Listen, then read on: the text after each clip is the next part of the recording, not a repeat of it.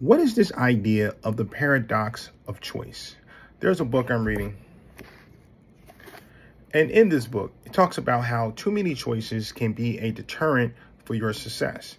How too many choices can cause depression, stress, anxiety, depression, and a whole host of other negative things on your life. So, how can less how can someone have a better life using less choices? In this book, he gives a good example of himself going into a jean store to buy a pair of pants. So he asked the clerk, Where are the pants located?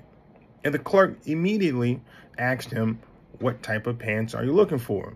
You want regular fit, thin fit, or high waisted? Low waisted, black, blue, red, orange.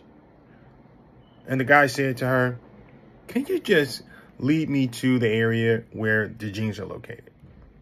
And so he walked over there, and it was a plethora of choices. Ultimately, he decided to go with a regular fit pair of jeans. Now, the thing here is that by having limited choices, you may not get everything you need.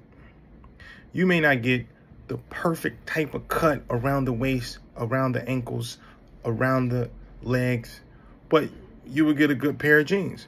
And this is how it was in earlier days when when people would buy clothing. They would take a pair of jeans and put them on. The fit wasn't perfect, but hey, they look good and they walk out the store. But they did not spend time reminiscing, oscillating, thinking through what's the best pair of jeans to get. They got they just got a pair of jeans, the best fit, and they walked out the store.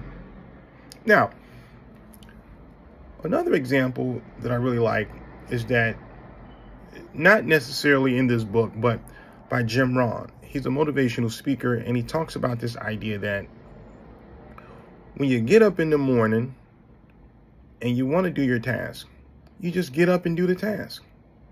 You don't think about and oscillate and think through and I wish I woulda and what about this and all the time. No, you just get up, you work on your task for an hour, you do the next task for two hours, you take a break.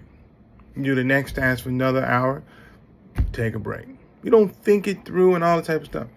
You're totally focused on the task at hand.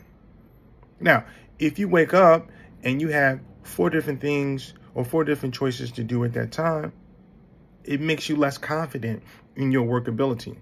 You have less doubt that you're going to get these things done because you don't know which one to fully do. So as you, at the end of the day, you have to pick a choice. You can't do two choices at one time.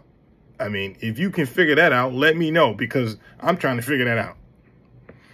So you do one thing and then you do that task until that task is completed.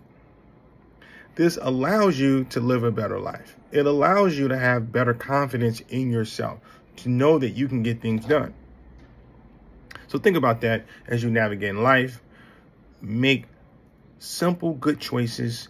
Think about the most important thing in your life and fully commit to those things. And on that note, take care.